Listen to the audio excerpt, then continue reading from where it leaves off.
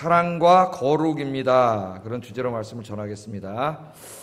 교회, 이 땅에 많은 교회가 있는데 그 교회가 정말 하나님이 기뻐하시는 교회인가, 성경에서 말하고 있는 그런 교회인가를 보여주는 표지가 있어야 돼요, 교회. 그 표지가 두 개 있는데 그게 뭐냐면은 사랑과 거룩이에요.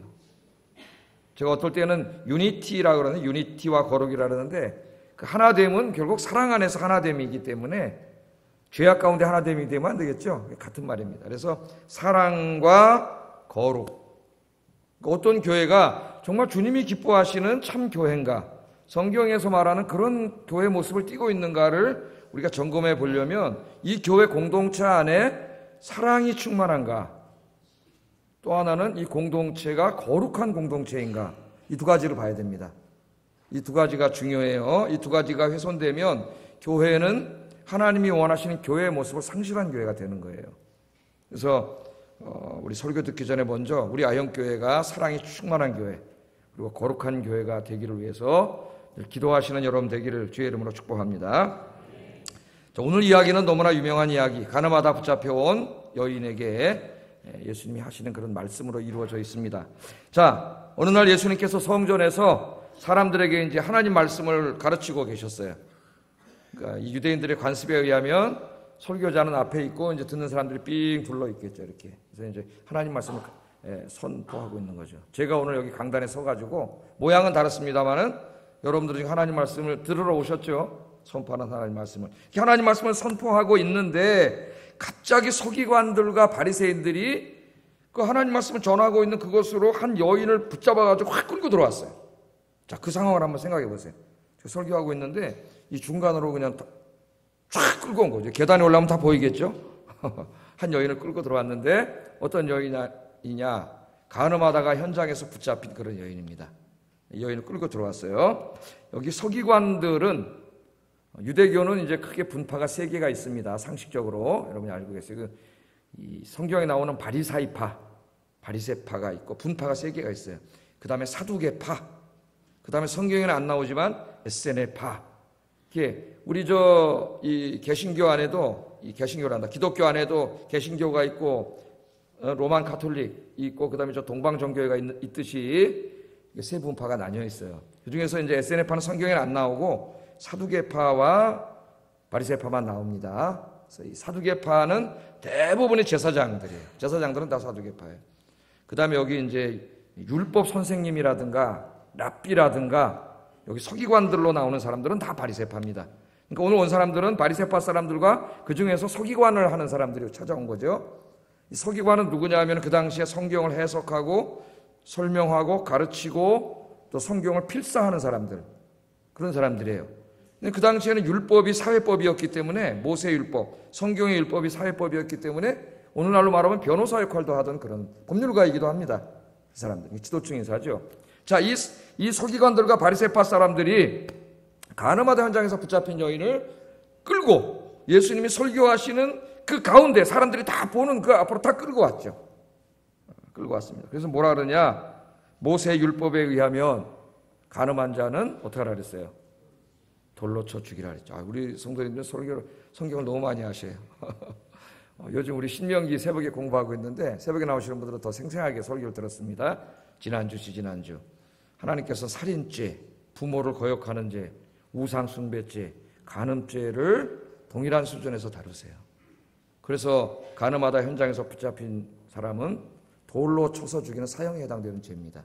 굉장히 심각한 죄죠. 이 죄를 짓다가 여인이 잡혀서 예수님에게 끌고 왔어요. 끌고 와서 예수님께 질문을 합니다. 질문을 하는데 이제 이 여인을 모세율법에 의하면 돌로 쳐 죽이라 그랬는데 당신은 어떻게 해야 된다고 생각하십니까? 그렇게 물어본 거예요. 아, 모세 율법에 돌로 쳐 죽이라고 했으면 그렇게 하면 되잖아요. 근데 예수님께 굳이 여인을 끌고 와가지고 당신은 어떻게 해야 된다고 생각하십니까? 예수님의 의견을 구했습니다. 그렇게 질문을 한 것은 몰라서 그런 게 아니고 뭐 하려고요? 예, 수님 올감해가지고 꼼짝없이 올감해서 이제 죽이려고 어, 그런 질문을 던진 거죠. 그래서 질문의 의도가 6절에 나오죠. 6절 한번 읽어보겠습니다. 시작. 예수를 시험함이라. 이 바리새인들이 사람을 올가매는데 귀신입니다. 요새 그 올감이 있지 않습니까? 동물을 잡으려고 탁 올감이면 움직일수록 어떻게 해요? 더 콱콱콱콱 조여오죠. 무서운 거예요. 이 사회 지금 이 사회 안에서 어, 자기들과 생각이 다르고 뜻이 다르고 있는 사람들을 올감으로 법이라는 올, 올감이로 올감해가지고 하여튼 콱콱 올감해서 꼼짝 못하게 하는 그런 우리 사회가 돼서 참 안타까운데 자 예수님을 고발할 조건을 찾으려고 그랬어요. 왜 그러냐면은 예수님께서는 설교할 때 항상 뭐라 가르치셨냐면은 죄인들을 용서하고 사랑하라고 가르쳤어요. 오른뺨을 때리며 왼뺨을 내자라고 가르쳐 주셨어요. 그러니까 이 사람들이 지금 질문을 한 것은 요번에도 틀림없이 예수님이 그렇게 대답할 것이라고 예상하고 지금 물어본 거예요. 물어본 거예요. 많은 사람들 앞에서. 네? 아마 어쩌면 지금 예수님이 지금 죄인들을 용서하라고 가르치고 있는 그 순간에 딱 끌고 왔을지 모릅니다. 저는 그렇게 생각해요. 왜냐하면 그 타이밍에 딱 들어왔으니까 지금. 예? 딱 끌고 들어왔어요. 어떻게 되느냐? 어떻게 되느냐? 들고 들어왔어요. 자, 만일 예수님께서 지금 설교하신 대로 죄인들을 용서하라 그렇게 말하면은 사, 모든 사람들 앞에서 무, 무슨 뭘 하는 거예요 예수님이 지금 모세 율법을 공개적으로 부인하는 행동이 되죠. 모세 율법은 유대 사회에 그냥 헌법 정도가 아닙니다. 그들의 생명과도 같은 법이에요. 어기면 죽습니다. 그것을 부정하는 결과가 돼요. 자, 만약에 예수님이 돌로 쳐 죽이라 그러면 이제까지 죄인을 사랑하고 용서하라고 가르친 모든 말씀을 자기 스스로가 부정하는 꼴이 돼. 예? 어떻게 대답을 해도 예수님이 곤경에 처하게 되어 있습니다. 올가미를 씌우는 거죠. 성경을 읽어보면은 가이사에게 세금을 바쳐야 됩니까? 안 바쳐야 됩니까? 이런 질문들이 다 뭐예요? 예수님을 올가매려고 하는 그런 질문들이죠. 공경에 처하게 하려고. 자, 예수님이 어떻게 대답을 해도 이게 상당히 문제가 되게 돼 있습니다. 자, 예수님은 과연 어떻게 대답할 것인가? 모든 사람들이 예수님에게 시선이 집중되겠죠. 예수님 뭐라고 대답할 것인가? 집중될 겁니다. 또 이 지금 가늠하다 붙잡혀서 끌려온 여인은 예수님만 바라보고 있겠죠. 왜? 예수님 한마디에 자기 생명이 왔다 갔다 해죠. 죽을 수도 있고 살 수도 있습니다. 그런, 그런 순간이에요, 지금. 그런 순간. 예. 자, 오늘 예수님께서 과연 뭐라고 대답하셨을까? 여러분들은 잘 알고 계시고 예수 안 믿는 이 세상 사람들도 잘 알고 있어요. 이 말씀 모르는 사람은 거의 없을 거예요, 아마. 너무나 유명한 말씀이라서. 어, 예수님께서 말씀을 하셨는데, 오늘 이 예수님이 이, 이들에게 하신 말씀은 우리 오늘 이 교회가 죄인들을 어떻게 다루어야 하는가에 대해서 중요한 교훈을 줍니다. 죄인들을 교회가 어떻게 다루어야 하는가. 교회는 아까 제가 말했듯이 사랑의 공동체이면서 동시에 거룩한 공동체가 되어야 됩니다. 사랑과 거룩. 어떻게 보면은 두 개가 잘 맞지 않을 수도 있어요. 이 죄인의 문제를 놓고 보면 그죠? 사랑은 용서해야 되고 거룩은 도려내야 됩니다. 그럼 두 개가 상충되는 개념일 수도 있어요. 교회는 사랑의 공동체이면서 거룩한 공동체가 되어야 되는데 예? 이 사랑도 훼손하지 않고 거룩도 훼손하지 않으려면 교회가 어떻게 일을 처리해야 되는가? 죄인들을 거기에 대한 지혜를 줍니다. 지혜를 오늘 예수님의 말씀을 통해서 우리가 지혜를 얻고 하나님 우리에게 맡기신 이 교회를 사랑이 충만한 교회 그리고 하나님의 거룩으로 충만한 교회로 만드는 일에 힘쓰시기를 주의 이름으로 축복합니다. 자, 예수님이 대답을 하셔요. 막 재촉을 합니다. 오늘 본문에 보면 빨리 대답해라. 에? 올가을 씌우려고 이제 막 어, 재촉을 하죠. 그때 예수님께서 대답을 하시기 전에 성경 말씀에 보면 자리에 쭈그리가 앉으셨어요. 앉으셔가지고 땅에다가 뭐라고 쓰셨습니다. 6절 하반절에 보면 예수께서 몸을 굽히사 손가락으로 땅에 쓰셨다 그랬어요. 아, 궁금하잖아요. 뭐라고 쓰셨을까? 성경은 말하고 있지 않기 때문에. 그러니까 당연히 요한복음을 연구하는 많은 연구자들이 뭐라고 쓰셨을까? 이런저런 걸 해가지고 다양한 추측적, 추측의 해석. 그런 건 추측이죠. 추론, 추론.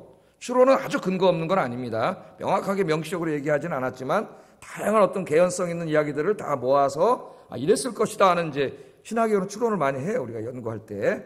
어, 자, 뭐라 했을까? 많은 의견들이 있지만은 아마 가장 제가 볼 때 가능성 있는 것은 로마 법정에서 재판관들이 판결을 내릴 때 하는 행동을 하신 것 같아요. 로마 재판관들이 이제 판결을 내릴 때 판결을 자기 입으로 발표하기 전에 그 밑에 있는 노트에다 씁니다. 판결 내용. 사형이면 사형. 쓴 다음에 사형 이렇게 얘기해요. 습관이.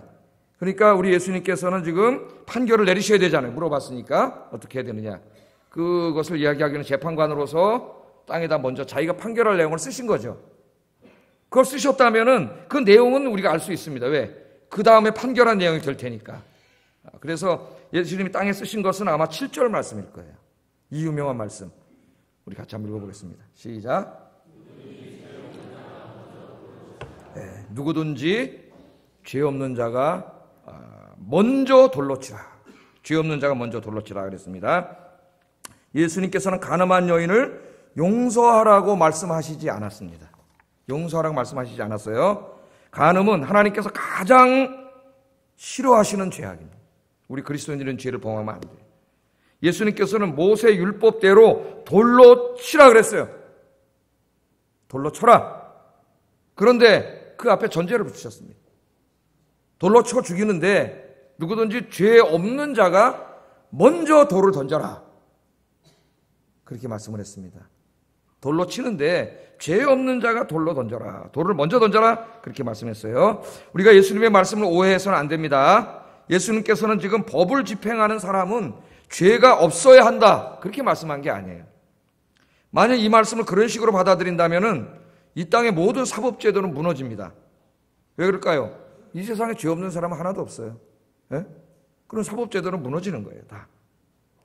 이 공법으로, 공적으로 법을 집행하는 사법기관에 있는 사람들은 범죄를 저지른 사람들에 대하여 그들이 지은 죄에 따라 공의의 심판을 해야 합니다. 사형에 해당하는 죄를 지었으면 사형이라고 이야기해야 돼요. 이 판사는 하나님을 대신해서 재판하는 거예요. 성경의 가르침에 의하면 하나님을 대신해서. 원래는 하나님이 다 재판하세요. 궁극적으로는 하나님 앞에 서서 우리의 한 평생이 다 재판을 받습니다. 그런데 하나님이 궁극적으로 이 모든 사람들을 재판하는 종말이 오기 전에 우리 인간의 역사가 진행되고 있잖아요. 이 가운데 죄를 그대로 내버려 두면 이 사회는 죄로 가득 찬 폭력과 에? 죄가 난무한 이, 이 지옥이 돼요, 지옥이. 그래서 하나님께서는 비록 흠결이 있지만 인간들을 재판관에 세우시고 그들을 통해 하나님의 공법을 시행하게 하셨어요. 그래서 모든 재판관들은 그가 하나님을 믿든 믿지 않든 자기가 지금 하나님을 대신해서 그 자리에 앉아 있다는 걸 명심해야 돼요. 자기의 편견과 이념과 자기의 출세와 성공을 위해서 그런 인기 있는 재판을 하면 안 됩니다. 법과 양심에 따라 재판을 해야 돼요. 그렇지 않은 재판관들은 하나님의 재판정에 섰을 때 큰 심판을 받습니다. 왜? 억울한 사람들이 생기잖아요? 큰 심판을 받아요. 그러니까 이게 지금 그렇게 하지 말라는 거 아니에요. 사법기관에 공적으로 그 자리에 있는 사람은 죄에 대해서 심판해야 돼요. 예, 그걸 하지 말라는 말씀은 아닙니다. 예수님의 말씀의 핵심은 지금 그 서기관과 바리새인들 그리고 그들을 따라서 돌멩이 들고 때려 죽이겠다고 그 유대인들에게 있어요. 자기는 죄가 없는 의인인 척하면서 사람들 앞에 예? 의인인 척하면서 아무 자비심도 없이 한 생명을 무자비하게 돌로 때려 죽이려고 하는 사람들을 향하여 우리 예수님께서 말씀하신 겁니다. 예수님은 거룩한 사람인 척 하면서 한 여인을 정지하고 있는 그 위선적이고 무자비한 사람들에게 그들 자신의 더 부끄러운 죄를 스스로가 볼 수 있도록 말씀하신 거예요. 지금 이들이 여인을 끌고 왔습니다. 에? 예? 자기들은 존경받는 사람들이에요. 그 당시에.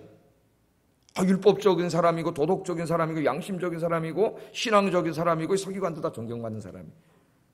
그런데 사실은 그렇지 않죠. 왜? 다 예수님 뭐라 그랬어요? 이 독사의 새끼들이라 그랬고 이 위선자들이라 그랬습니다. 위선자들.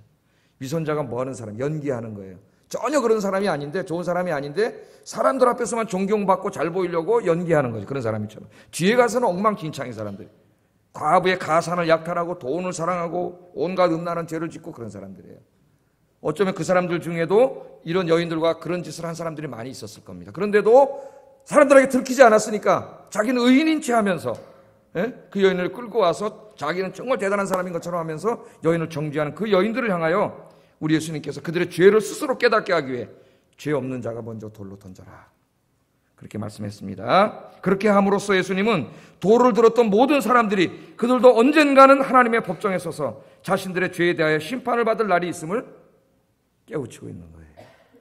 우리 모두는 여러분 다 나중에 하나님의 심판대 앞에 서야 됩니다. 하나님의 재판정 앞에서 그때 재판관은 하나님이세요. 하나님 우리의 모든 것을 알고 있기 때문에 조금도 공의에서 좌우로 치우치지 않았어요. 하나님 재판을 하세요. 자, 여러분, 우리는 다 하나님 앞에 죄인이에요. 그렇기 때문에 우리는 다른 사람의 죄를 정죄할 위치에 있지 않습니다. 그 말은 아까 제가 이미 말씀드렸듯이 사법기관으로 임명된 그 판사나 이런 사람들이 판결을 하지 못한다는 말은 아니라 그랬어요. 그건 어, 그 직위에서 공법으로 하나님의 정의를 실현하는 것을 말하는 건 아니라 그랬습니다.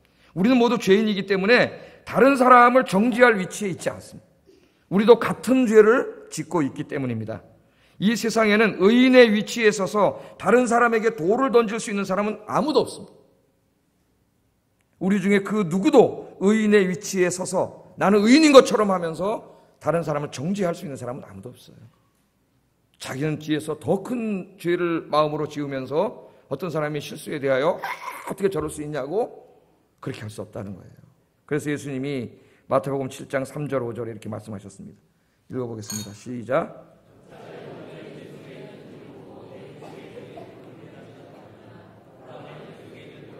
어찌하여 형제에게 말하기를 나로 내 눈 속에 있는 티를 빼게 하려 하겠느냐 외식하는 자여 먼저 내 눈 속에서 들보를 빼라 그 후에 밝히 보고 형제의 눈에서 티를 빼리라 아멘 어쩌면 이 여인을 정지하고 있는 사람들 눈에는 들보가 있는지 몰라요 여인의 눈에 걸린 이 죄는 티일지도 모릅니다 예수님이 그렇게 예, 보고 계세요 그런 자들이 자기들은 들키지 않았다고 몰래 죄를 행했다고 어? 예수님이 볼 때는 위선자들인데 다 자기들은 거룩한 척하면서 와서 여인을 돌로 치려고 하고 있습니다. 지금 그런 자들을 향하여 예수님이 말하신 것이죠. 다른 사람의 허물을 보기 전에 늘 자신의 허물을 먼저 바라봐야 된다는 거예요. 여러분들 그렇게 할 수 있기를 주의 이름으로 축복합니다. 늘 자기를 먼저 돌아보세요. 자기를. 나는 정말 하나님 앞에 어떤 사람인가? 어?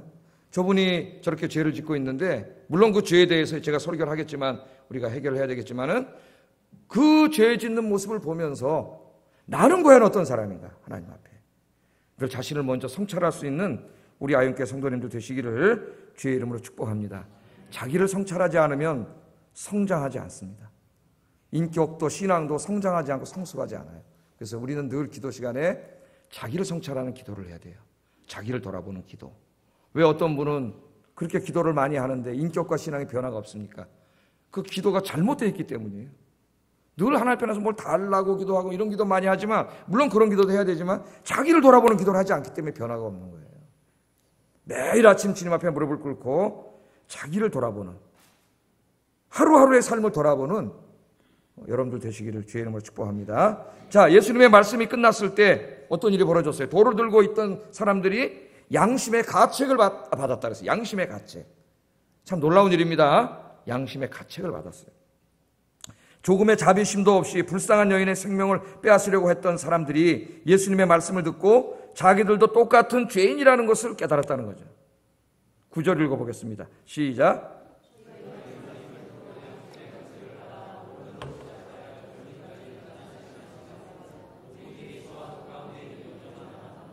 아멘. 자, 예수님께서 말씀하셨을 때 그 말, 누구든지 죄 없는 자가 먼저 돌로 쳐라.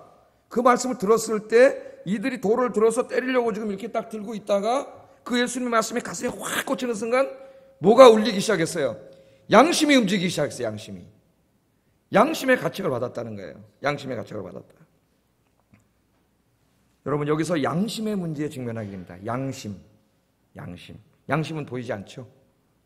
네? 우리 위에 암이 걸렸다. 그는 다 내시경으로 보이기 때문에 위를 잘라내는, 암을 잘라내는 수술을 하면 됩니다.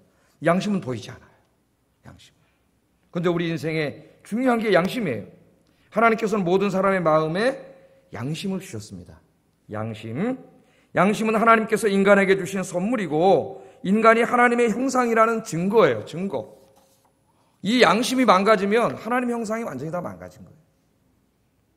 그래서 계몽주의 시대를 열었던 독일의 철학자 임마누엘 칸트는 항상 자기 인생에서 두 가지를 신비하게 생각했습니다. 하나는 뭐냐면은 밤하늘을 이렇게 쳐다보니까 거기 수없이 많은 별들이 있는 거죠. 예? 우주가 있는 거예요. 야, 이 우주가 어디서 왔을까? 어떻게 존재했을까? 너무 신비했어요. 알 길이 없어요. 알 길이. 이 하늘에 수많은 별들이 어떻게 존재했어? 그 다음에 또 하나 그가 신비하게 여긴 것은 인간의 마음속에는 양심이에요. 저렇게 죄만 짓고 악을 행하는 인간들의 마음속에 어떻게 양심이라는 게 있을까? 양심이라는 게. 그 양심이라고 하는 건 도덕률이에요. 예? 그래서 칸트가 그 어, 율법 이 윤리학책을 쓰지 않습니까? 실천 이성 비판이라는 이 윤리학책을 쓰게 되는데 어떻게 인간의 마음에 양심이 있을까? 여러분 안 신기하세요?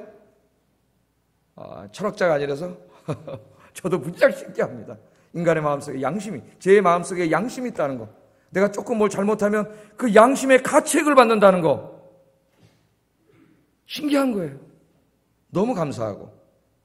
그래서 그 세계 3대 심리학파 중에 한 사람인 유대인 심리학자인 이 빅톨 프랭클도 그 책을 제가 읽어보니까 제일 신기하게 생각하는 게 양심이야, 양심. 인간의 마음속에 양심이 있다는 게 너무 신기했어요, 이 사람도. 그래서 양심은 원래 인간에게 내재해 있는 것이 아니고 저 초월에서부터 온 것이다. 초월에서. 초월이 뭡니까? 우리, 우리의 말로 하면 하나님 주신 것이죠, 하나님. 철학자들이나 이런 사람들은 하나님이라고 얘기 안 해요. 뭐 저 초월이라 그러고 궁극적인 존재라 그러고 존재의 근원이라 그러고 뭐 자인 존재라 그러고 가이스트라 그러고 뭐 이데아라 그러고 이런 말 하지 만 하나님이라는 소리는 안 해. 근데 결국 다 그게 하나님을 얘기하 다른 말로 얘기한 것뿐이에요. 하나님이 우리의 마음속에 양심이라는 걸 주셨어요. 자, 그래서 우리가 죄를 짓거나 거짓말을 하면 이 양심이라고 하는 센서가 울립니다. 여러분 집에 그 저 화재 경보 시스템 있잖아요. 그 연기가 싹 나면 어떻게 해요? 엥 울리는 것처럼 이 양심이 울려요. 양심이. 그 양심의 가책이라 해요. 가책. 가책을 갖습니다. 양심의 가책은 내가 지금 하고 있는 말이나 행동이 잘못되었음을 알려주는 하나님의 음성이에요. 그러니까 하나님의 선물이에요. 내가 죄 짓고 잘못하는데 그냥 계속 그 양심의 가책을 받지 않으면 계속 갈 거 아닙니까? 그런 죄 짓다가 나중에 하나님의 법정에서 재판을 받아서 지옥불에 떨어지게 돼 있어요. 근데 하나님께서는 우리에게 양심을 주셔가지고 내가 잘못하면 내 양심이 울리게 돼 있어요. 양심의 가책을 받아. 어, 내가 이러면 안 되는데. 에? 예? 양심의 가책을 받아. 내가 누군가를 미워하고 누군가에게 시기 질투하는 마음이 생겨. 막 미움이 생길 때 그때 어떻게 돼요? 양심이라는 센서가 울려야 돼요. 양심의 가책을 받아. 내가 왜 이러지? 내가 왜 저 사람 미워하지? 내가 왜 시기하고 질투하지? 이게 울려야 돼요. 그 양심의 가책을 받는다는 것은 바로 하나님이 네가 생각하고 있는 그것이 바로 잘못이라고 하는 것을 알려주는 하나님의 음성이에요. 하나님의 음성. 여러분의 양심의 센서는 잘 작동하고 있습니까? 잘 작동하고 있어요? 이 그런데 죄가 반복되면 하나님이 선물로 주신 양심이 고장납니다. 같은 죄를 반복해서 짓다 보면 양심이 망가져서 소리가 들리지 않습니다. 그 죄를 그만 지어야 한다고 네가 지금 잘못하고 있다는 것을 알려주는 하나님의 음성이 들리지 않아요. 그게 그 사람의 가장 큰 불행입니다. 불행. 그래서 성경에서는 그것을 양심이 화인 맞았다. 양심이 화인 맞았다. 디모데전서 4장 2절 읽어보겠습니다. 시작. 교회에서 계속 죄를 짓고 교회를 어지럽히는 사람들을 향하여 하나님께서 바울의 입을 통해 양심의 화진, 화인을 맞은 자다. 양심의 화인을 맞은 자다. 양심의 화인을 맞은 사람은 가장 불행한 사람입니다. 더 이상 하나님의 음성이 들리지 않습니다. 양심이라는 센서가 작동하지 않습니다. 내가 아무리 죄를 줘도 내가 죄를 짓고 있다는 것도 몰라요. 그래서 더 큰 죄를 더 큰 죄를 담대하게 짓습니다. 여러분 오늘 교회 안에 많은 문제를 일으키고 죄를 짓는 사람들이 다 왜 그럴까요? 양심이라고 하는 센서가 고장난 사람들이에요. 계속 죄를 짓는 거예요. 계속. 오늘 이 말씀을 할 때에 그 다 망가져 있던 그 서기관과 바리새인들의 양심이 다시 살아났어요. 하나님이신 그분이 인간의 몸을 입고 찾아오셔서 그들에게 말씀하실 때 그 말씀이 가슴에 꽂힐 때 그 양심이 살아난 거예요. 양심의 가책을 받은 거지. 아닌 체하고 있다가 위선자로 살고 있다가 주님의 말씀을 듣는 순간 자기도 저기 있는 가늠한 여인과 별다를 거 없는 죄인이라는 사실을 깨닫고 양심이라는 센스가 울려서 어떻게 했어요? 예? 다 돌아갔죠. 돌아갔습니다. 슬그머니 돌을 놓고 돌아갔어. 오늘 여러분 모여서 하나님께 예배를 드리고 있는 이 시간 여러분의 양심이라는 센서가 더욱더 살아나기를 주의 이름으로 축복합니다. 그래서 어느 정도로 예민해져야 되느냐 양심이 사도 바울처럼 예? 조그만 죄악에도 괴로워 내 안에 하나님이 예? 하나님이 주신 자아가 있고 또 다른 죄인의 자아가 이 둘이 날마다 싸우는데 내가 하나님의 뜻대로 살지 못하고 늘 육신의 소욕에 져서 죄를 짓는다. 오호라 나는 공고한 사람이로다. 그렇지 않습니까? 7장에 바울이 무슨 죄를 그렇게 많이 졌겠어요? 그 훌륭한 사람이 물론 죄를 졌겠지만은 우리에 비하겠습니까만은 그거는 뭐예요? 그가 늘 하나님 앞에 무릎 꿇는 사람이었기 때문에 그 양심이 아주 예민하게 살아있는 사람. 그러니까 늘 하나님과 가까이 하는 사람이 양심이 예민하게 살아있기 때문에 조그만 죄악에도 이 센스가 울려요. 괴로워서 견딜 수가 없어. 내가 누굴 조금만 미워해도 그 마음이 들기만 해도 괴로운 거예요. 왜 이 센스가 울리니까. 예? 그 윤동주 시인이 쓴 것처럼 예? 잎새에 이는 바람에도 나는 괴로워했습니다. 얼마나 그 양심적인 사람이 한 사람의 기독교인으로서 잎새에 이는 꼭 바람이 보이나요? 느껴지지도 않는데 거기에도 괴로워했다는 거예요. 하나님께로 가까이 가는 사람은 양심이라는 센서가 점점 더 생생하게 살아나요. 나의 조그만 잘못에도 이게 울리기 시작합니다. 하나님의 음성이 막 들려요. 네가 잘못하고 있다. 그러면 안 된다. 그런 생각하면 안 돼. 그런 말 하면 안 돼. 그런 행동하면 안 돼. 하나님의 음성이 들리는 거예요. 오늘 오신 여러분 이 예배 시간을 통해 이 양심이 생생하게 살아나는 여러분 되시기를 주의 이름으로 축복합니다. 모든 사람들이 다 돌아갔어. 다 돌아갔어. 양심이 살아나니까 누구를 정죄하지 못해요. 다 돌아갔어. 그때 예수님께서 여인에게 두 가지를 말씀하세요. 두 가지를. 이 두 가지가 우리 교회가 죄를 어떻게 해야 되는가 아주 중요한 지혜를 줍니다. 자, 첫째, 첫째, 첫째 예수님의 말씀을 살펴보면 교회는 은혜와 사랑의 교회가 되어야 함을 가르쳐 주는 말씀. 11절에 뭐라 그랬어요? 나도 너를 정죄하지 아니하노니. 나도 너를 정죄하지 않는다. 그렇게 말합니다. 이 말씀은 이 여인의 간음죄를 정당화시켜 주는 말씀이 아니에요. 이 여자는 간음죄를 지은 사람입니다. 모세 율법에 따라 돌로 쳐서 죽여야 되는 죄를 지은 사람이에요. 이 예수님이 누구세요? 지금 말씀하시는 예수님이 바로 가늠한 여인은 돌로 쳐서 죽이라는 그 법을 제정하신 하나님이세요. 우리는 삼일체 하나님을 믿잖아요. 성자 하나님이세요. 그 하나님이 인간의 몸을 입고 여기에 오신 바로 그 하나님이세요. 그 말씀을 하신 분이 예수님이세요. 예수님. 그런데 이 법을 제정하신 예수님께서 가늠한 여인의 죄를 용서하고 계십니다. 용서하고 계세요. 하나님이신 그분이 율법을 만드신 그분이 용서받을 수 없는 가늠죄를 범한 여인을 용서해 주셨습니다. 저와 여러분은 모두 죄인입니다. 가늠죄를 지은 여인처럼 우리는 모두 죄인이에요. 우리는 하나님 앞에 도저히 용서받을 수 없는 죄를 지은 죄인입니다. 하나님의 율법에 의하면 모세의 율법에 의하면 하나님의 재판정에서 우리는 다 유죄 판결을 받고 지옥불에 떨어질 죄인들이에요. 가늠한 여인은 우리입니다. 바로. 우리 희망이 없는 존재들인데 그런데 예수님께서 우리들의 죄, 모든 죄를 용서해 주시기 위해서 우리 대신 우리의 죄를 짊어지시고 십자가에서 죽으셨습니다. 그리고 우리가 받아야 할 죄의 형벌을 예수님께서 다 받으시고 십자가에서 끔찍하게 죽으셨어요. 그 예수님이 당해야 될 형벌은 당하신 형벌은 저와 여러분이 지옥에 가서 당해야 될 형벌이에요. 우리 아버지 하나님께서는 우리가 당해 받아야 될 형벌, 죄의 형벌을 그 아들의 어깨 위에 십자가에 있는 아들에게 다 내리시고 그래서 우리의 죄를 사하시고 우리를 구원해 주신 거예요. 할렐루야. 그래서 우리가 예수 믿고 하나님 많은 복을 주셨는데 제일 큰 복은 뭐냐? 죄 사함 받고 구원받은 복이에요. 이것보다 더 큰 복이 없어요. 이미 이 복을 다 받았습니다, 여러분. 할렐루야. 나머지 뭐 뭘 먹을까 마실까 이런 거는 이 땅에 사는 동안 인간이니까 필요하니까, 예? 필요하니까 하나님 공급해 주시는 것이지, 그게 궁극적인 게 아니에요. 그래서 사도 바울 로마서 4장에서 죄 사함 받고 구원받은 여러분과 같은 분들이 얼마나 복된 사람인가를 이렇게 말합니다. 한번 읽어보겠습니다. 시작. 주께서 그 죄를 인정치 아니할 사람은 복이 있도다. 아멘. 그 불법을 사하심을 받고 그 죄를 가리우심을 받은 자. 주께서 그 죄를 인정하지 아니하시는 자. 우리들이잖아요, 다. 이 사람은 복을 받은 사람입니다. 그렇게 말을 하고 있습니다. 예수님께서 여인에게 묻습니다. 너를 고소하던 그들이 어디 있느냐? 너를 정죄한 자가 없느냐? 물어보니까 여인이 둘러보니까 다 갔어요. 조금 전까지도 돌멩이 들고 때려 죽이려고 하던 그 사람들이 다 돌아갔어요. 그때 여인이 대답합니다. 주여 없습니다. 대답합니다. 여인은 예수님을 뭐라고 부르고 있어요? 주님이라고 부르고 있어요. 주님이라고. 유대인들은 주님이라고 부르는 유대 유일한 분이 하나님 한 분밖에 없습니다. 하나님만이 주님이에요. 주님을 에? 히브리 말로 바꾸면 야훼예요, 야훼, 야훼, 야훼 하나님. 당신이 바로 하나님의 아들 하나님이십니다. 그 말이죠. 그렇게 고백합니다.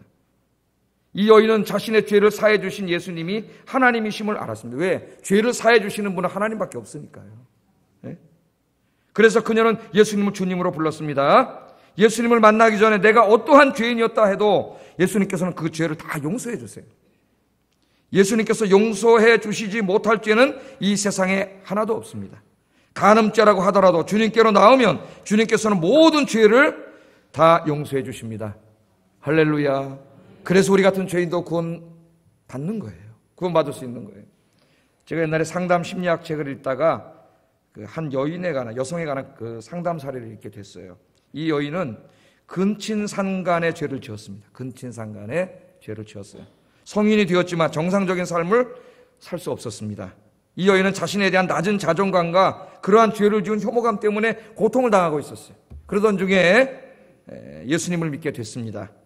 죄 용서에 대한 설교를 들었습니다. 예수님 믿으면 하나님께서 모든 죄를 용서해 주신다는 말씀을 들었어요.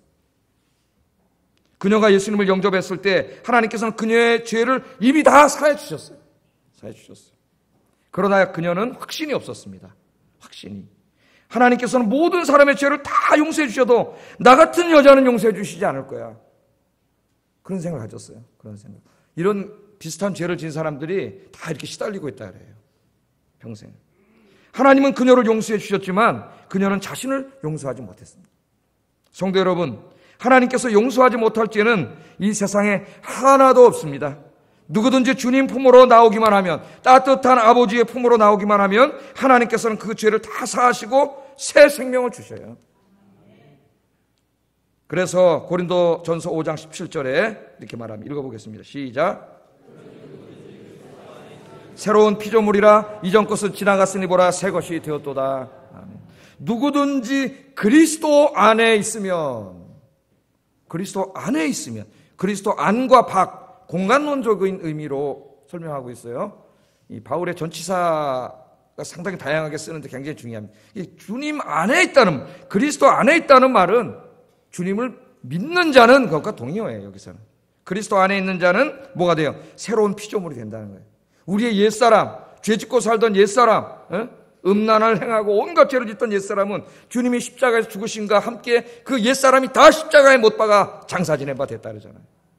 그래서 우리는 주님이 부활하신과 함께 새로운 사람으로 다시 태어난 줄로 믿습니다. 여러분 새 사람이에요, 이제. 새로운 피조물이에요. 새로운 피조물. 오늘 이 말씀을 우리가 생각해 볼 때 기독교는 은혜의 종교라는 걸 깨닫게 됩니다. 사랑과 은혜의 종교. 우리가 믿는 하나님은 은혜가 풍성하신 하나님, 사랑이 풍성하신 하나님, 도저히 용서받을 수 없는 죄인도 주님께로 돌아오기만 하면 다 따뜻한 가슴으로 안아주시고 용서하시는 하나님임을 알게 됩니다. 그러므로 그 하나님을 섬기는 교회는 사랑과 은혜가 풍성한 공동체가 되어야 돼요. 우리 교회가. 주님이 사랑과 은혜 하나님이잖아요. 풍성한 교회가 되어야 됩니다. 그런 교회를 만들기 위해서는 우리 모든 교인들이 주님의 은혜와 사랑이 충만한 그리스도인들이 되어야 됩니다. 그래서 이 세상의 어떤 죄인도 하나님의 교회인 우리 아이언 교회에 와서 주님의 사랑과 은혜로 충만한 여러분들을 만나고 그 가운데 와서 죄 사함 받고 구원받는 역사가 일어나야 돼요. 여러분 이 시대에는 다 동네가 고동네고 다 동네 사람 다 알잖아요. 예? 근데 어느 날 교회 예배 드리고 있는데 저기 왔는데 술 먹고 깡패 짓하고 개망나니 하고 어 저 뭐 창기의 집을 왔다 갔다 하고 그런 사람들이 교회 왔다 가면 생각해 보세요. 그러면 다 알잖아요 그거를. 아휴 저것들 왜 왔지? 예? 저것들 뭐하러 왔어? 그러면 안 된다는 거예요. 하나님 믿기 전에 우리는 모두 다 죄인이었어요. 그런 죄인들이 왔을 때 우리가 그들을 주님의 사랑과 은혜로 안아줘야 된다는 거죠. 교회가. 교회가 안아준다는 것은 여러분들이 안아주는 거예요. 편견을 갖고 눈을 째려보지 말고 주님의 따뜻한 사랑으로 우리가 그들을 안아주면 그들이 그 안에서 주님을 만나게 되고 죄사함을 받게 되고 구원받게 되고 우리처럼 거룩한 하나님의 성도가 될 줄로 믿습니다. 교회는 바로 그런 곳이 돼야 돼요. 나는 거룩하다고 아유 저런 사람 왜 교회 왔지? 그럼 오늘 예수님 이 바리새인과 서기관이 되는 거예요. 자기가 우리 아이교회가 그렇게 사랑과 은혜가 충만한 교회, 에? 여러분들이 그런 교회를 만들기를 주의 이름으로 축복합니다. 네. 그런데 그런데 예수님께서는 그 다음 말씀을 또 하셨어요. 나도 너를 정죄하지 아니하노라. 여기서 끝난 게 아니고 그 다음에 중요한 말씀을 하나 더 하셨어요. 11절 하반절을 읽어보겠습니다. 시작. 네, 나도 너를 정죄하지 않는다 하신 다음에 다시는 죄를 범치 말라. 이제 가서 다시는 죄를 범치 말라. 그렇게 말씀을 하셨습니다. 여기서 우리는 교회의 또 다른 모습을 보게 돼요. 교회는 모든 죄인들이 오는 것입니다. 예수 믿기 전에 온갖 죄인들, 뭐 살인자든 무슨 뭐 음란을 행한 자든 깡패든 다 오는 것이에요. 와서 죄 용서받고 새 사람이 되는 것입니다. 그러나 오늘 예수님 죄를 용서해 주신 다음에 뭐라 그래요? 다시는 죄 짓지 말라. 다시는 간음하지 말라. 예수님 말씀해 주셨잖아요. 그래서 교회는 우리는 다 죄 사함 받고 구원받은 주님의 은혜로 죄 사함 받은 사람들이지만 죄 사함 받은 사람들은 이제부터 다시는 옛날처럼 살면 안 돼요. 오늘 예수님이 이렇게 말씀하잖아요. 다시는 죄 지으면 안 됩니다. 죄 사함 받은 우리들은 교회 안에서 어떻게 살아야 돼요? 거룩하게 살아야 돼요. 거룩하게. 그래서 교회는 사랑과 은혜의 공동체이면서 동시에 죄 사함 받은 사람들이 거룩하게 사는 거룩한 공동체가 되어야 됩니다. 어떻게 하면 거룩한 공동체가 돼요?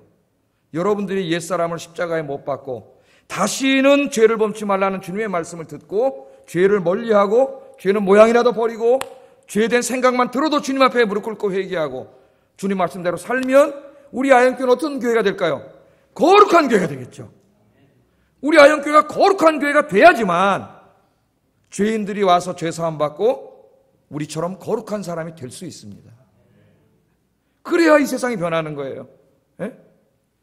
자, 그래서 우리가 거룩한 교회를 만들어야 되는데 이 바울이나 예수님이 이제 교회를 생각한 거예요. 실제적인 교회를 하다 보면은 문제가 생긴다는 겁니다. 하나님 말씀대로 다 안 되는 게 있어요. 안 사는 사람들이. 그게 뭐냐? 교회 와서 죄 사함 받고 이제 성도라 칭함을 받으면서 함께 교회를 나오는 사람들 중에 중에 주님이 다시는 죄를 범하지 말라 그랬는데도 불구하고 하나님의 교회의 거룩성을 훼손하는 죄를 짓는 사람들이 있단 말이에요. 그러니까 이 죄는 우리가 다 죄인이잖아요. 저도 죄를 짓고 죄를 짓고 또 하나님 옆에 회개하고 잘못했으면 그 정도의 죄를 말하는 게 아니라 하나님의 공동체의 거룩성을 훼손시키는 죄를 말하는 거예요. 교회. 그런 죄, 죄를 지었을 때 어떻게 해야 되느냐? 교회는 사랑이니까 다 덮고 용서해야지. 그런 겁니까? 그렇다면 아마 그 교회 죄가 골마 터지고 썩, 썩어가지고 교회가 엉망진창이에요. 네? 교회는 거룩한 교회가 되는데 예수님께서는요 뭐라고 말씀하셨어요? 어떤 사람이 교회 공동체 거룩성을 훼손할 만큼 죄를 지면은 그 사람을 감싸주고 모른 채 하라고 말씀하지 않았습니다. 예수님께서 뭐라 그러셨어요? 우리 마태복음 18장 15절 17절 읽어보겠습니다. 시작.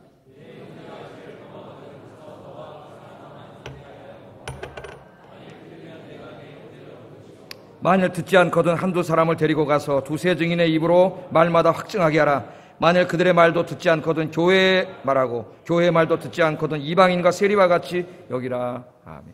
자, 우리 교회를 같이 신앙생활 하는데 내 주변에 어떤 분이 그렇게 교회 거룩성을 훼손하는 어떤 행동을 하는 걸 보는 이건 내버려 두면 교회가 이게 큰일 나겠다.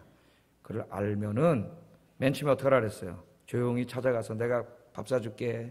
그래서 만나셔가지고 아이고 성도님 한 집사님 예, 교회는 그렇게 하면 안 됩니다. 교회 안에 이렇게 그런 일을 더 하지 않도록 사랑으로 정지하듯이 하는 게 아니라 지혜가 필요하겠죠. 지혜가 어, 사랑으로 잘 이야기해 주라는 거예요. 그래서 그 형제가 어 내가 잘못했습니다. 다시는 안 그러겠습니다. 그러면 그 한 생명을 얻는 일을 하는 위대한 일을 하는 거예요. 그렇게 하라 그랬어요. 여러분 그렇게 할 수 있습니까? 쉽지 않죠. 아, 괜히 귀찮은데 내가 이런 귀찮은 일에 휘말려 가지고 예? 그렇게 하지 마. 아, 교회는 사랑인데 내가 괜히 그 모른 척하고 지나가면 되지. 그렇게 하지 말라 그랬어요. 찾아가서 말해라. 그러나 그 사람이 변하지 않으면 그래도 계속 행동을 하면 교회에 명망이 있는 두세 사람, 한두 사람을 더 데리고 가서 다시 권고하라 그랬어요. 교회 누가 되겠어요? 장로님, 권사님 이런 난수입사 이런 분들이 되겠죠. 구역장님들. 혹은 기도 많이 하시는 성도님들과 함께 가서 다시 한번 이야기를 했습니다. 그렇게 하면 안 된다고. 교회 안에서. 그렇게 두 번째 권고했어요. 그런데 그 말도 듣지 않아요. 그러면 그 다음에 어떻게 하라 그랬어요? 교회 말하고 교회가 교회 말해서 교회가 알게 된다는 건 담임 목사가 알게 된다는 거예요. 결국. 그렇지 않겠어요? 그래서 권고를 했는데도 듣지 않으면 어떡하라고요? 이방인과 세리같이 여기라. 그 말은 뭐예요? 교회에서 쫓아내라는 말입니다. 출교시키라는 말이에요. 출교. 우리 예수님, 야, 교회는 사랑이니까, 나도 가늠한 여인을 용서했으니까, 어? 교회에서 다 사랑이니까 뭐 그런 거 안 돼. 그렇게 하지 않았어요. 하나님의 교회의 거룩성이 훼손되는 것을 하나님은 매우 걱정하십니다. 하나님의 교회의 거룩함을 지키는 게 굉장히 중요해요. 그래서 나중에 사도 바울도 이 말씀을 가지고 고린도 교회에 적용을 합니다. 고린도 교회 이런 죄악들이 막 공동체 안에 막 퍼져가지고 교회가 교회인지 뭔지 알 수가 없는 정도가 됐는데도 교회 책임성을 책임이 있는 사람들이 다 그냥 방관해 두고 있는, 있는 거예요. 이걸 처리해야 되는데 그랬더니 하나님이 바울을 통해서 엄중하게 책망을 하시죠. 이 교회 지도자들, 성도들에게. 그 말씀이 고린도전서 5장 11절 13절 한번 읽어보겠습니다. 시작.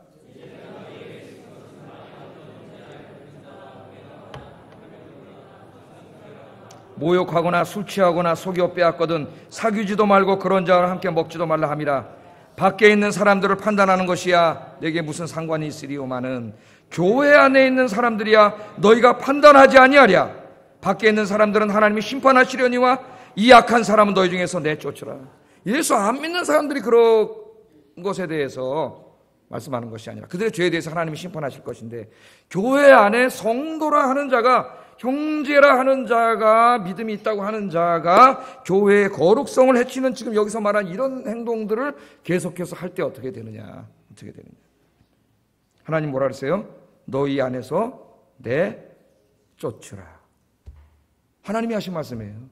내 쫓으라. 교회에서 출교시켜라. 교회를 더 이상 나오지 못하게 하라. 왜? 그 사람 계속 나오면 교회가 어떻게 되겠어요, 여러분? 내 쫓으라고 하나님 말씀을 하셨습니다. 그래서 이 출교의 목적은 두 가지예요. 두 가지. 첫째는 교회 공동체의 거룩함을 위해서입니다. 하나님의 최고의 관심은 교회 공동체의 거룩함. 그래서 고린도전서 5장 6절 읽어보겠습니다. 시작. 누룩은 여러분이 다 아시잖아요. 누룩 조금만 넣어도 좀 있으면 밀가루가 확 부풀러 오르고 다 변하잖아요. 죄악의 작은 누룩을 그대로 방치해 두면은 어떻게 됩니까? 금방 퍼진다. 금방. 이상하게요. 인간은 죄성을 가지고 있기 때문에 선한 일이 확산되는 속도보다 죄가 확산되는 속도가 훨씬 빠릅니다. 금방! 예? 금방이에요. 그래서 어떻게 돼요? 그 적은 누룩을 빨리 떼내야 돼요. 밀가루에서. 교회에서 떼내야 돼요. 그렇지 않으면 교회가 다 거룩성을 훼손하는 교회가 돼요. 거룩성을 훼손하면 더 이상 교회가 아닙니다. 여러분. 자, 두 번째. 두 번째 출교의 목적은 뭐냐? 이 악을 행한 사람이 회개하고 구원을 받게 하기 위함이에요.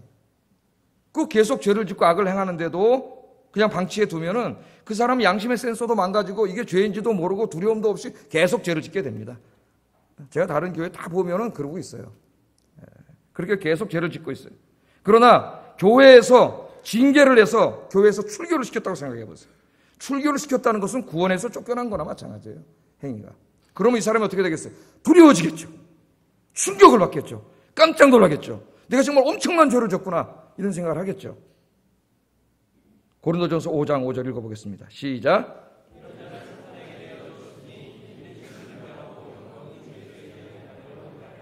아멘. 출교를 하나님 뭐라 하냐 사탄에게 내어주는 것이라 그래요. 사탄에게. 출교해라. 엄청난 충격을 받을 겁니다. 오늘날 한국교회가 이 7일을 제대로 행하면 하나님 말씀대로 징계를 제대로 행하면 하나님 교회가 이렇게 망가지지 않을 거예요. 하지 않기 때문에 문제가 되는 거예요, 문제가. 예? 그래서 그 사람이 치리를 받아 충격을 받고 내가 구원 못 받으면 어떡하지? 그래서 하나님 앞에 진정한 회개를 하는 거예요, 진정한 회개. 잘못했습니다, 하나님. 그러면 그 사람의 영혼을 구원하는 거예요. 사람들이 잘 회개하지 않아요. 그래서 초대교회 때는요, 한 2세기까지는 어떤 사람이 죄를 짓지 않습니까? 그러면 그 사람이 나중에 죄 용서할 때도 이 앞에 나와가지고 이렇게 강단에 서서 성도 여러분, 저는 사실 이런 이런 교회 안에 죄를 졌습니다. 그러나 제가 하나님 앞에 회개하고 용서 받았습니다. 저를 용서해 주세요. 이렇게 한 사람만 다시 공동체 받아들이라 했어요. 그래서 초대교회는 한 3세기까지는 교회가 굉장히 순결하고 깨끗했습니다. 그 다음부터 엉망이 된 거예요. 예? 콘스탄티누스 황제가 종교의 자유를 준 다음부터 교회 안에 의지게 따지게 진짜 다 들어오면서 그 안에 막 죄악이 관영하고 교회가 교회인지 뭔지 세상은 구별이 안 되는 교회가 된 거예요. 된 쫓아내면 그 사람이 두려움에 얻어서 그 사람의 영혼을 구원할 수 있다는 거예요. 그래서 하나님 출교를 어, 이야기하고 있습니다. 정당한 건지 그래서 교회는 당회가 있어요. 당회. 당회를 우리 교회법에서는 치리회라 합니다. 치리회. 그러니까 세상으로 말하면 사법기관이에요. 사법기관. 죄를 범한 사람들의 죄를 정확하게 판단을 하고 조사를 해서 거기에 맞는 공의의 판결을 내리는 것이 당회예요. 그 치리회입니다. 담임 목사는 그 당회의 책임자예요. 당회장. 그래서 교회의 목회자로서의 담임 목사는 주님의 사랑과 은혜로 성도들을 돌보고 사랑하고 그렇게 하지만 당회장으로서의 목사는 재판의 수장입니다. 거기에서는 인간의 정을, 정이 나타나는 것이 아니라 거기는 하나님의 공법을 행하는 것이에요. 공법을. 그래서 우리 장로님들에게도 가끔 얘기합니다.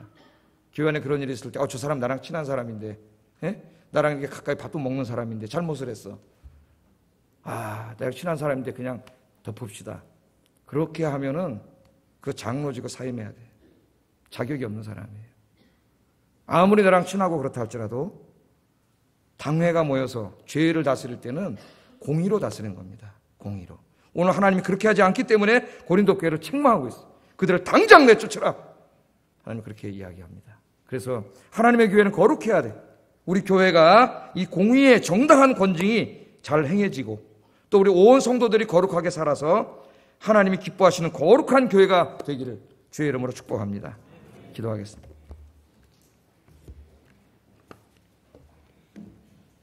말씀을 생각하면서 기도하겠습니다. 사랑하신 하나님, 우리 아영교회를 위해서 기도합니다. 우리 아영교회가 사랑과 은혜가 충만한 교회가 되어서 이 세상의 어떤 죄인도 우리 아영교회에 나오기만 하면 죄 사함 받고 그 사랑으로 죄 용서 받고 구원받는 역사가 일어나는 교회가 되게 해 주세요. 첫 번째 기도해 주세요. 뿐만 아니라 우리 교회는 동시에 거룩한 교회가 돼서 온 성도들이 거룩하게 살 뿐만 아니라 이 교회 공동체에 생겨나는 모든 악행들을 공의의 정당한 권징을 통하여 거룩을 만들어가는 그런 교회가 되게 해주세요. 기도하겠습니다.